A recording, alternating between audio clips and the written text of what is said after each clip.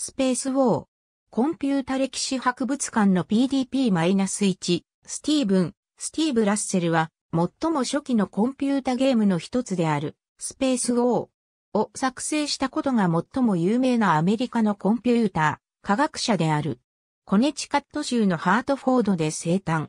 父の転職に伴い、1949年にワシントン州に移住。ワシントン州マウントバーノンの高校に通う。1954年にニューハンプシャー州ハノーバーのダートマス大学に通学したが、途中でマサチューセッツ工科大学の人工知能プロジェクトの仕事を見つけ、中途退学してボストンに移住した。ラッセルは IBM704 メインフレームコンピュータ用のプログラミング言語リスプの最初の2つの実装を記述した。ユニバーサル関数の概念が言語に適用できることに気づいたのはラッセルであった。リスプのユニバーサル評価器をハイレベルの言語で実装することでリスプインタプリタの作成が可能になったが、それまでの言語に関する開発は言語のコンパイラに重点を置いていた。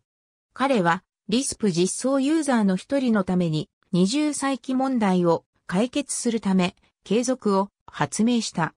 1962年、ラッセルはマサチューセッツ工科大学のテック鉄道模型クラブの仲間たちと一緒に DEC の PDP-1 ミニコンピュータ上で動くスペースウォーを設計、作成した。スペースウォーは最初のデジタルコンピュータゲームであると広く考えられており、コンピュータゲーム業界全体の基礎として役に立った。